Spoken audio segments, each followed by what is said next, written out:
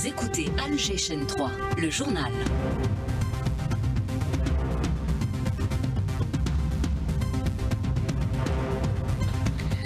Au sommaire, deuxième jour de la campagne électorale, les candidats ou les partis qui les soutiennent annoncent la tenue de meetings à travers plusieurs wilayas. On s'intéressera par ailleurs à la couverture médiatique de ces élections par les télévisions nationales. Bonne nouvelle pour les employés de l'usine de traverse ferroviaire de Sidi Bel Abbas. Elle vient d'être euh, reprise par Ferrovial et reprendra du service en septembre. Dans le dossier Raza, les négociations pour un cessez-le-feu se poursuivent à Doha en l'absence du Hamas. La communauté internationale s'insurge après l'attaque de colons sur le village de Djit et appelle à accélérer ces discussions.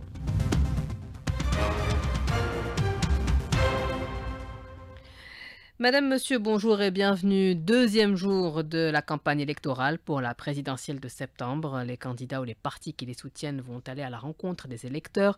C'est ainsi que le président du MSP, Hassani Sherif Abdelali, a prévu deux rencontres distinctes aujourd'hui. La première s'est déroulée ce matin dans la wilaya de Tebessa. Sami Alouni, notre envoyé spécial.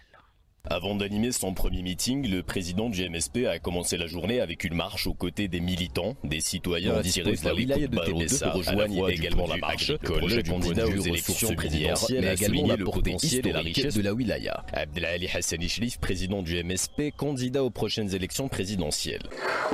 Aujourd'hui, nous avons commencé depuis Tébessa parce que nous savons ce que signifie Tébessa. Tébessa est une wilaya qui dispose de toutes les ressources une wilaya qui possède la moitié des ressources minières du pays.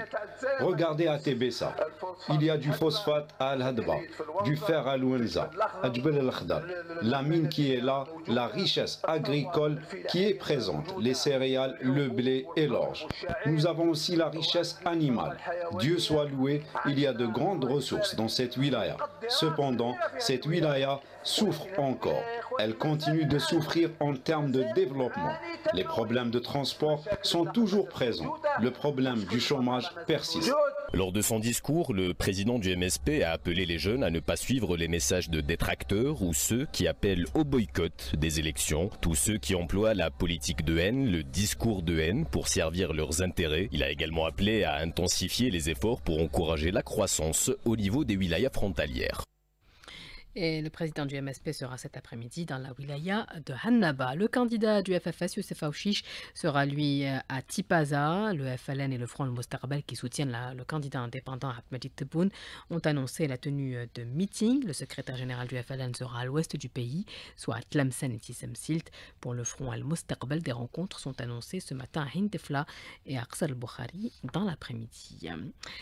Le mouvement dynamique des Algériens de France a lancé la campagne J'aime Bledi, j'irai voter, sillonnant plusieurs villes de France. Le MOUDAF appelle la communauté nationale établie en France à participer massivement au rendez-vous du 7 septembre. Nasser Khabat, président du MOUDAF, contacté par Meïs Esmail le MOUDAF, depuis euh, déjà un mois et demi, deux mois. Précisément, le 25 mai, a lancé un slogan. Le slogan, c'est J'aime Bledi, j'irai voter. Pour résumer l'état d'esprit, pour résumer euh, la force qui doit se dégager des citoyens et citoyennes de la diaspora pour participer massivement. Car aller voter, c'est aussi rendre, rendre euh, hommage à nos aïeux du 1er novembre 54 qui ont donné leur vie et au prix fort d'un million et demi de chéides pour avoir ce droit de voter, mais aussi pour avoir ce devoir de voter. Et aujourd'hui, nous devons apporter, et je dis nous, et en l'occurrence toute la jeunesse algérienne, doit apporter sa contribution à ce vote. Compte rendu des meetings, espace d'expression des candidats émissions spéciales élections, les chaînes de télévision nationales ont adapté leur programme à l'événement. Sophia Boukercha, reportage. Une couverture en temps réel de l'événement électoral. À la télévision nationale, des équipes dédiées sont mobilisées dans les 58 wilayas. Lies Radiji, président de la commission des élections à l'ENTV. On a mobilisé euh, toutes les équipes euh, journalistiques et techniques pour la couverture médiatique de la campagne électorale. Euh, on a déjà envoyé 58 équipes. En plus de ça, deux équipes avec chaque candidat. On a adapté tous les programmes des émissions et programmes JT par rapport aux 27 événements. À L24 News, tout est en place pour l'événement. Des équipes sont déployées sur le terrain, les programmes sont adaptés à l'élection. La chaîne prévoit même d'envoyer des équipes à l'étranger pour une couverture internationale. Salim Agar, directeur général de la chaîne L24 News. Nous avons établi une équipe de plus de 40 personnes avec la réalisation de short programmes de 3 à 6 minutes, mais également des vidéogrammes pour expliquer la loi électorale, mais également montrer les plus importantes stations électorales algériennes depuis euh, Nous allons ouvrir à l'étranger, notamment en Europe, parce que nous allons couvrir plus de 16 capitales, Paris, Marseille, Lyon, Barcelone, Londres, Moscou, Pékin. Nous avons des émissions spéciales, trois derniers jours avant la clôture de la campagne électorale, l'émission face à face qui accueillera chaque candidat ou représentant pour faire le bilan ou le point sur la campagne électorale. Les équipes de télévision sont prêtes à capturer chaque instant de cette élection tout en veillant à offrir une couverture impartiale qui réponde aux attentes du public. Il est 12h36 minutes sur Alger. Chaîne 3, une explosion de gaz a fait 3 morts et 11 blessés dans un immeuble situé dans la commune de Guet-Constantine à Alger. L'explosion euh, d'une bonbonne de gaz a provoqué un incendie au premier étage de l'immeuble en question. Les explications de Nassim Barnaoui, directeur de la communication à la protection civile, contacté par Nasser Amedjadel. Nos unités ont mobilisé euh, tous euh, les moyens nécessaires, notamment sans ambulance, sept camions d'incendie, un camion mécanique et une équipe euh, d'intervention spéciale de recherche en milieu périlleux. Malheureusement, cet incident a causé le décès de trois personnes âgées de 4 ans, 11 ans et 17 ans, ainsi que des blessures à 11 personnes, dont 8 personnes atteintes de différentes brûlures et deux autres personnes atteinte de difficultés respiratoires et une autre personne dans un état de choc qui ont été traitées sur le lieu d'accident puis évacuées vers l'hôpital local. Rappelons que suite à cet incident, il y a eu euh, l'effondrement total euh, du plancher du premier étage et l'effondrement partiel du rez-de-chaussée. Les éléments de la protection civile euh, sont également intervenus cette nuit après la montée des eaux pluviales dans plusieurs wilayas de l'est du pays. Nassim Barnawi. Nos unités, durant les dernières 24 heures, ils ont eu à intervenir plusieurs fois suite à des intempéries qui ont touché quelques wilayas de l'est du pays, l'image de Omlbouaki, Tebessa et Msila, où il y a eu euh, le sauvetage de quelques personnes cernées par les eaux, aussi des dégagements de quelques véhicules euh, cernés par les eaux, ainsi que des opérations d'épuisement d'eau à travers trois maisons. Et aussi, il y a eu euh, le sauvetage d'une famille composée de trois personnes qui à bord d'un camion bloqué dans la boue. Une unité de stockage de céréales d'une capacité d'un million de quintaux a été inaugurée hier à Corso, dans la wilaya de Boumerdès. Le ministre de l'Industrie a indiqué que cette unité a été réhabilitée et remise en service après 21 ans d'arrêt et contribuera à accroître les capacités nationales de stockage stratégique des céréales et assurer la sécurité alimentaire à la question. La relance de cette unité de stockage va générer une moyenne de 500 à 600 emplois selon Aliaoun. Bonne nouvelle pour les employés de l'usine de traverse ferroviaire de Sidi celle-ci vient d'être reprise par Ferrovial. Pardon. Son activité sera lancée ou relancée à partir de septembre prochain. Inès Mohamed. Dans le cadre de la récupération des biens saisis par la justice et leur réaffectation au profit d'entreprises publiques économiques, l'usine de fabrication des traverses ferroviaires implantée à la commune de Jamdemouche au sud de la wilaya de Sidi Blabès a été officiellement récupérée par l'entreprise nationale de construction de matériel et équipements ferroviaires Ferrovial. L'unité après sa remise en marche peut assurer la fabrication de 320 traverses jour. Le directeur général Bouyoussef Belhamri. À partir du 1er septembre, on va procéder procéder à la réintégration des travailleurs parce qu'on est dans l'obligation de réexploiter cette unité dans les plus brefs délais. Le message que je dois transmettre à cette région, c'est que les projets prévus visent la réalisation de 12 000 km de lignes ferroviaires de ce plan d'action. Cette unité fera partie de l'ensemble des autres unités qui vont fournir le matériel nécessaire à tous ces projets. On va récupérer et réintégrer tous les travailleurs et on planifie un plan d'action pour d'autres projets dans cette unité. Pour sa part, Louali Samir a mis à la disposition du groupe ferroviaire un foncier industriel de 30 hectares dans la zone de la disponible et utile pour la réalisation d'une unité de fabrication de matériel et équipement de la voie ferrée. De Sidi Blabès, Inès Mohamed pour Alger 3. Et on s'intéresse à présent au job d'été, vendeur, caissier, plagiste, des petits boulots qui ne demandent pas de qualification particulière et permettent aux étudiants de se faire un petit peu d'argent. Le reportage est signé Soraya Roslan. Chaque été, des milliers de jeunes se lancent à la recherche d'un emploi saisonnier. Ces jobs d'été sont une opportunité pour se faire de l'argent et aussi de se familiariser avec le monde du travail. Étudiante à Al-Harrach, Imen est très contente de travailler en tant que serveuse dans un restaurant café à Alger. Je suis étudiante, un jour ou l'autre je suis amenée à rentrer dans le monde du travail et c'est un début. Je passais par hasard par ici avec une copine, j'ai vu l'annonce, j'ai essayé, on m'a recruté. Je vais continuer à travailler tout l'été jusqu'à ma rentrée, j'arrête. Gérant d'un café à Alger, Adel a pour habitude de recruter des étudiantes durant cette période de l'année.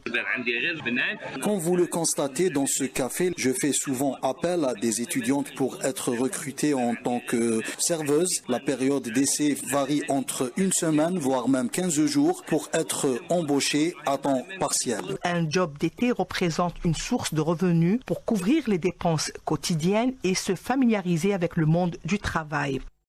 Il est 12h41 minutes ce vendredi. Encore des bombardements nocturnes ont fait plusieurs morts à Raza. Huit Palestiniens sont tombés en martyrs. De nombreux autres ont été blessés, selon l'agence officielle Wafa.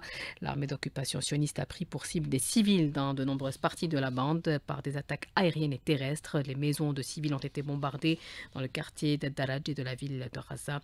Euh, dans la région nord, les corps de cinq martyrs, dont celui d'une fillette de 13 ans, ont été retrouvés sous les décombres. Les négociations continuent continue ce vendredi à Doha en vue de parvenir à une trêve.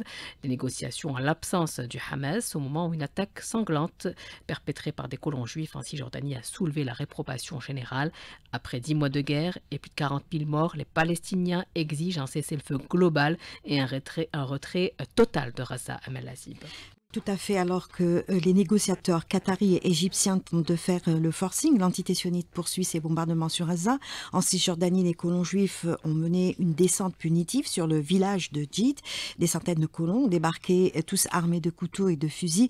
Ils ont tout brûlé sur leur passage. Du terrorisme d'État réagit l'autorité palestinienne. Les condamnations de tous bords ont été exprimées aujourd'hui. Un événement qui pèse certainement sur ce deuxième jour de négociations à Doha. Les pourparlers de Doha, une tentative éviter la riposte iranienne ou une carte blanche pour rayer Raza de la carte, Ayman Ashaka, journaliste politologue palestinien.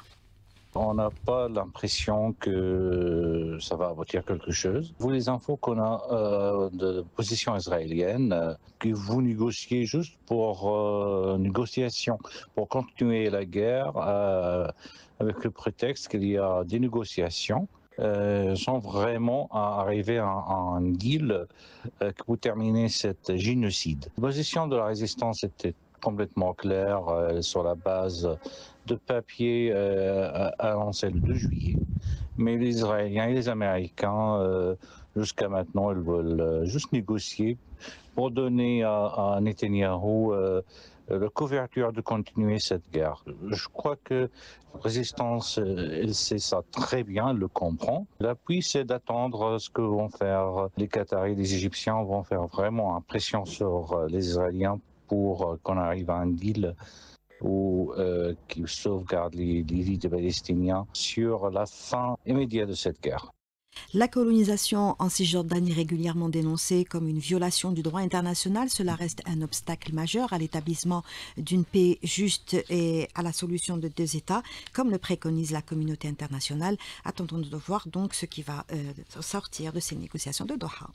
L'OMS et l'UNICEF demandent des pauses humanitaires de 7 jours à Raza pour vacciner les enfants contre la polio. On estime que 640 000 enfants de moins de 10 ans ont besoin de recevoir ce vaccin. L'OMS qui accroît son soutien aux pays touchés par le virus Mpox ou la variole du singe qui constitue une urgence de santé publique euh, de portée internationale selon le directeur de l'organisation. L'émergence d'une nouvelle souche du virus euh, en République démocratique du Congo et sa propagation rapide, y compris dans les pays voisins, sont l'une des principales raisons de cette décision. 12 pays africains sont concernés. Jeudi, la Suède a confirmé le premier cas en dehors de l'Afrique. L'organisation a déployé des experts et fourni un financement initial pour accélérer les mesures de riposte au flambé. L'OMS a par ailleurs déclenché le processus d'inscription sur la liste d'utilisation d'urgence pour les vaccins Impox, ce qui accélère l'accès aux vaccins pour les pays à faible revenu. On termine avec euh, notre euh, avant-dernier numéro de la série de la semaine consacrée à Mostaganem. Notre reporter nous emmène aujourd'hui visiter le parc Mostaland, le plus grand parc en Afrique. Il s'étend sur une cinquantaine d'hectares. Les Algériens viennent de partout pour le visiter. Mostaland a enregistré l'année dernière un pic, un record de visites avec un million de visiteurs. Hafid Hamouche un lieu de divertissement pour toutes les catégories d'âge situé à Kharouba, à l'est de la ville de Mostaganem, surplombant le cap d'Erzio. Mostaland fait le bonheur de ses visiteurs. On est ravis de venir à Mostaland, on se régale en famille et on passe un très très bon moment. Il y a une diversité d'animaux qui est incroyable, c'est un très très bon parc avec une structure et des infrastructures, euh, machallah. Avec une superficie globale de 57 hectares, dont 32 hectares abritant le parc animalier, il est considéré comme le plus grand parc de l'Ouest du continent africain. Il abrite plusieurs espèces animales. Les détails avec Belakhdar Wassine Laouad, il est vétérinaire en chef à Mostaland. Un parc animalier qui abrite plus de 450 sujets répartis sur 36 espèces qui sont hébergés dans 42 enclos. On a tout ce qui est herbivore, on a aussi tout ce qui est rampant comme les crocodiles, on a les oiseaux, on a les fauves, les lions d'Afrique, le tigre de Bengale blanc et le tigre de Bengale brun. Aussi les espèces qui sont en voie de disparition c'est surtout l'espèce algérienne. On a la hyène, rayée, on a aussi les loups africains et d'autres loups antarctiques surtout, donc euh, européens. L'exclusivité du parc animalier euh, Mostaland, c'est aussi euh, les naissances rares. Parmi les naissances rares, on a le lion blanc, on a aussi le tigre de Bengale blanc. C'est une fierté pour Mostaland. Si vous vous rendez à Mostaganem pour vos vacances, n'hésitez pas à visiter Mostaland, il vaut le détour. Ce journal est à présent terminé. Merci à vous de l'avoir suivi, à l'équipe qui nous a accompagnés. Amine Segni était à la réalisation, Sadek à la technique, à la régie d'antenne et Mouni au streaming vidéo. Tout de suite, c'est Amine Mounir pour la météo. Très bonne suite des programmes sur la chaîne 3.